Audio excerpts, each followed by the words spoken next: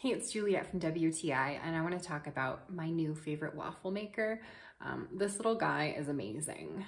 I got this Dash waffle maker because I wanted to make waffles, but I didn't want a huge waffle maker like the one I've had in the past that was super hard to clean.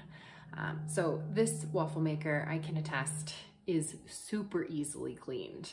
Uh, it, it wipes right off.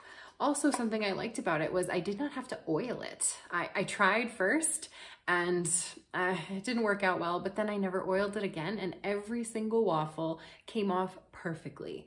I didn't need any. Um, it also made waffles a lot quicker than what I was expecting, which was great um, because of the small size. I was worried it was gonna take me forever to go through like the amount of batter I had, but it didn't. So I didn't really pay attention to the light so much. I just paid attention to when the steam stopped coming out as much, um, the waffle was ready. So if you want a great waffle maker, get this. It works really well, cleans up easily, and that's my point of view.